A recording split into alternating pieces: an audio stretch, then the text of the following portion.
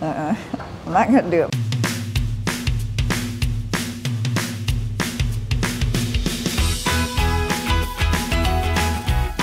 Hey Kern County, Megan Pearson, your Director of Countywide Communications with this week's Around the County.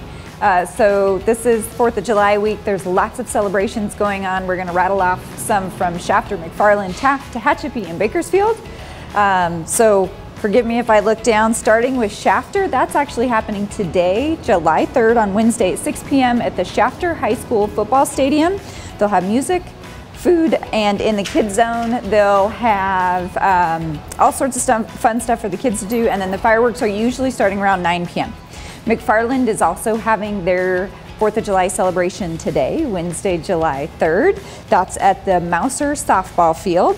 They'll have swimming from 5 to 8, food, games, and fireworks starting at 9.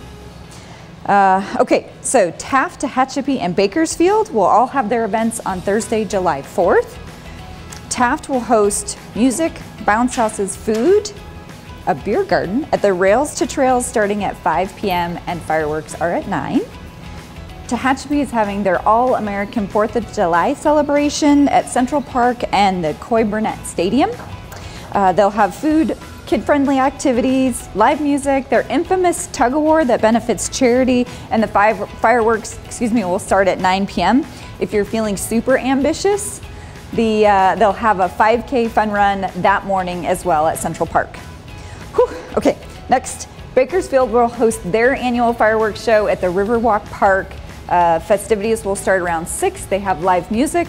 They'll have food vendor, food and vendors, and then the uh, fireworks will start about 9:15. We want to give you some safety tips from our friends at the Kern County Fire Department. Uh, they have a couple of reminders, so make sure that you never light fireworks off inside, near dry grass or anything flammable.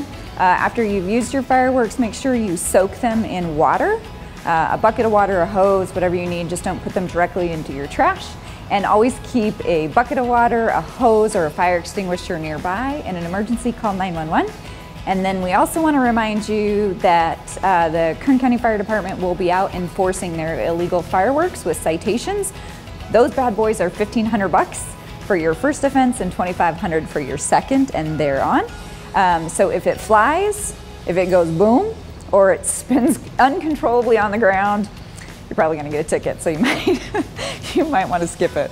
Last up, we want to give a shout out to the folks over at the Bakersfield Burrito Project. They're celebrating their 10th anniversary, so this Sunday, July 7th at 11 o'clock at Mill Creek Park, uh, they'll be doing an event, they'll be feeding people, and they'll have resources, and it'll be an outreach event. So thank you for all you do for our community and for your hard work over the last 10 years. Uh, we appreciate everything you do. That's this week around the county. Please have a very safe 4th of July, and we will see you next week.